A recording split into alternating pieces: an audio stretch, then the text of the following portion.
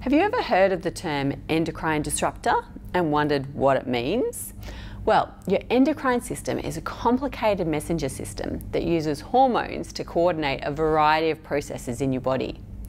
An endocrine disruptor is a chemical that disrupts some of these processes by mimicking or blocking these hormones. So, the question becomes, can endocrine disruptors affect fertility? Well, stay tuned to find out.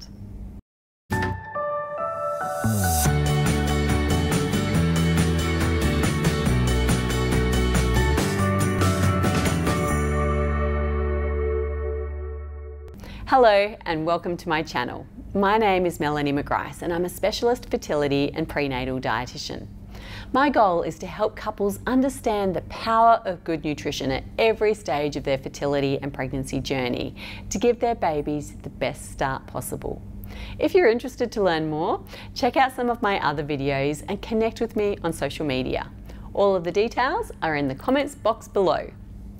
Now, in this video, I'm going to discuss diet-related endocrine disruptors and how you can best reduce your exposure to preserve your fertility. The female reproductive system is governed by hormones and endocrine disruptor chemicals are able to disrupt these hormones to such an extent that they can affect your fertility. Unfortunately, endocrine disruptor chemicals are found literally everywhere, from the soil to our water and even the air that we breathe. While we're not able to avoid them completely, the key is to reduce our exposure as much as possible. So let's look at the top four diet-related endocrine disruptors and what you can do to lower your risk. Number one, pesticides. Pesticides is the umbrella name given to substances that help to control pests, whether they're insects or weeds. Pesticide residue can be found on fresh fruits and veggies. That's why you need to thoroughly wash or scrub all your fresh produce under fresh running water. You need to do this even if you're not planning on eating the peel, because when you cut or peel the produce, the pesticides can enter. Many people ask me if they need to use soap, bleach or a commercial detergent. And although this sounds logical, there's no need, and in some cases, some of these detergents can contain additional endocrine disruptors themselves. Now, number two is heavy metals. There are a number of heavy metals that we're exposed to, including arsenic, lead, and mercury. However, the most widely consumed of the three is probably mercury in the form of methylmercury because it's commonly found in the fish that we eat. The largest source of mercury contamination originates from coal burning power plants, where it eventually makes its way into the environment, especially major bodies of water. Once in the water, it gets absorbed by the algae at the start of the food chain. Through a process of bioaccumulation, the further up the food chain we go, the higher the concentrations of mercury that are present.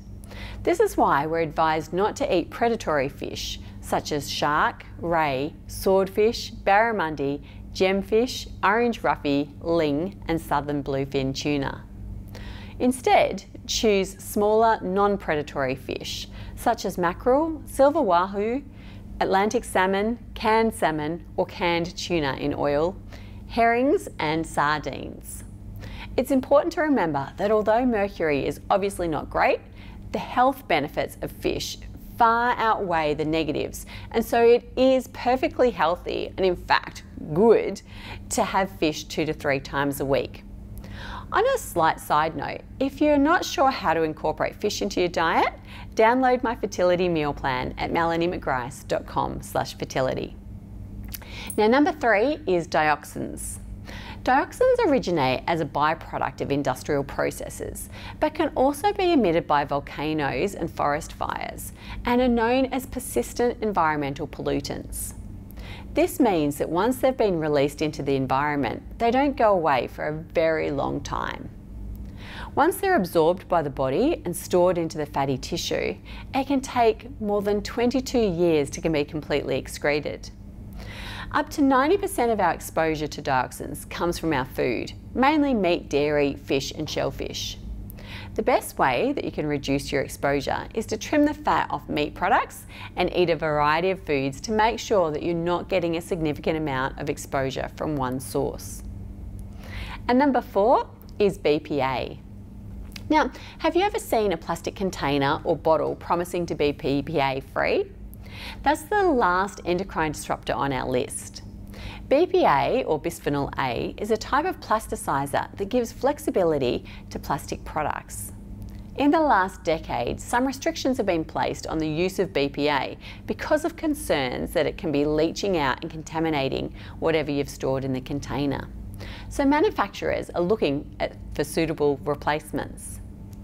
Unfortunately, the research on the effect of these alternatives have on our health is minimal, which means that we don't actually know if they're safer than BPA itself. In light of this, I personally think that it's a better option to invest in some glass containers, which we know are safe.